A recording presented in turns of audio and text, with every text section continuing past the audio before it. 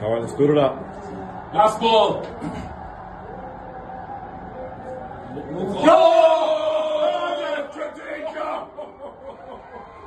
Never bet against Oh, MS Dhoni and CSK. The Tata IPL champions of 2023 are CSK for the fifth time.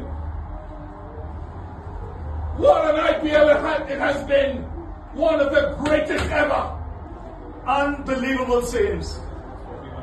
Would you believe it? Two balls left, ten runs to get. Six, four. He comes from this part of the world.